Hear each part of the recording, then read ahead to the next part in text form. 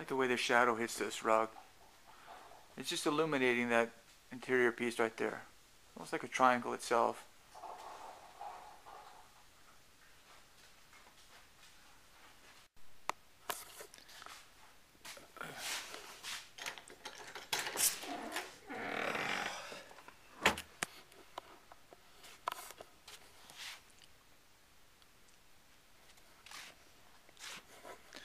Those are legs I cut off of these Levi's for the sewing thing when I was doing that a long time ago. I shoved them. I have some, some. These are Crocs, and someone had said something about if the Crocs get get, uh, you know, if you want to, you know, you can put them in the sun and shrink them. So I put them in the sun, you know. But what happens is they, they shrink, but they lose all their softness. They become compacted. So I put them in freaking hot water yesterday. Not these, the one I'm wearing. These other ones. And then I st stuffed them with those with those pants to expand them. And they they did expand a little bit, but they're still very hard. Crocs are meant to be like wearing clouds. Those are just like wearing plastic shoes. But it's nice out today. Yesterday I was outside wearing shorts. Today it's a little cooler. It's it is cooler, but it's still nice out. This piece here has been standing for months. Hasn't blown down. I was talking last night to a friend for almost two hours. It was nice. It was a good conversation. I got lots of exercise because I, I pace when I'm talking on the phone. So it was almost two hours of walking, which is good.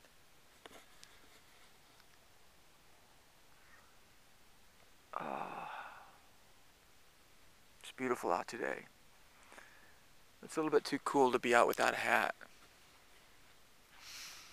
I had to call my neighbors yesterday, last night about 10 o'clock, about their stupid dog.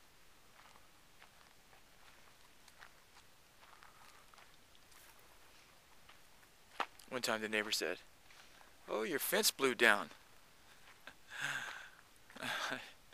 I didn't tell him it's not a fence, it's an eyesore barrier.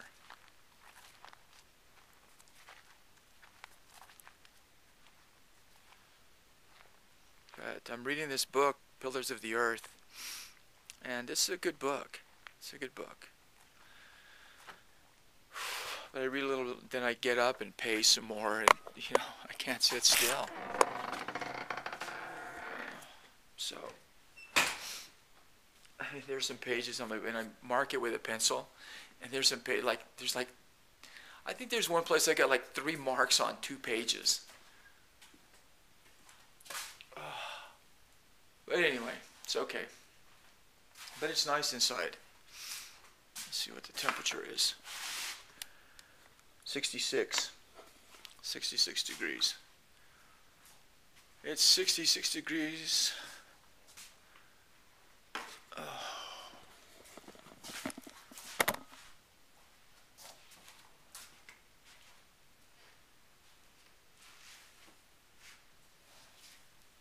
oh, this. I was thinking about making quilts and then finding blankets like this and then sewing the quilt top to this and then making a blanket like that.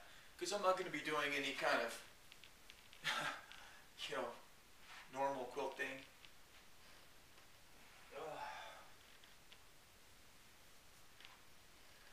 But anyway, I'm not sure what I'm going to do. Uh, I don't know.